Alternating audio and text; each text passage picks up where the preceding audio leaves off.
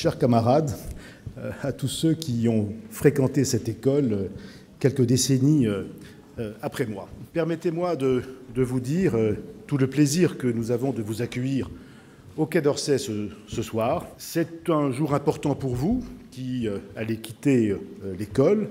C'est un jour qui ponctue 16 mois de scolarité qui, je l'espère, a été pour vous fructueuse, agréable et intéressante.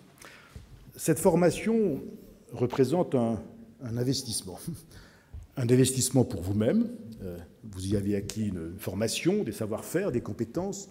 Euh, c'est également un investissement pour euh, la France et pour mon pays. Et je, je n'hésite pas à le dire, tant grâce à vous, lorsque vous serez en activité dans vos pays, vos ministères, vos administrations respectives, nous pensons que nous pourrons compter sur des personnalités, des fonctionnaires qui connaîtront nos sensibilités, nos concepts, nos méthodes, avec lesquels le dialogue sera peut-être plus facile. Et je m'appelle Santiago Davila Valdivier, je suis équatorien. La confiance que la France nous a fait à travers l'ENA, en nous ouvrant non seulement les portes de l'école, mais celles des administrations les plus sensibles. Et nous avons appris euh, et mieux découvert l'Europe, mais surtout nous pouvons dire aujourd'hui que nous connaissons intimement la France grâce aux stages que nous avons effectués, par exemple en préfecture. Pour moi, c'était la meilleure chance de, commencer les coopérations de demain.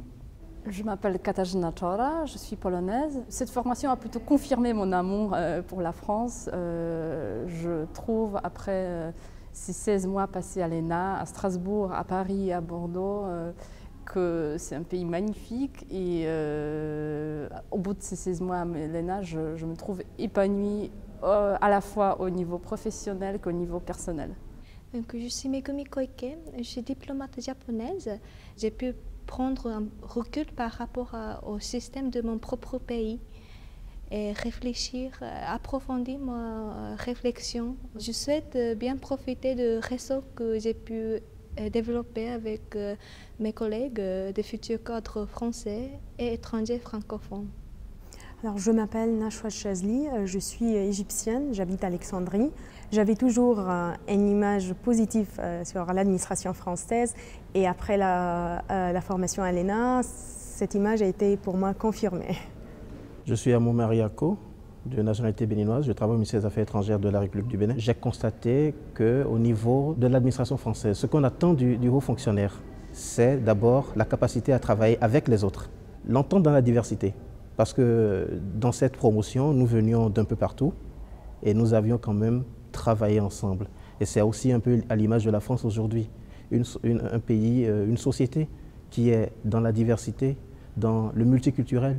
Et tout le monde est appelé à se parler, à échanger, à s'entendre pour justement faire grandir la France.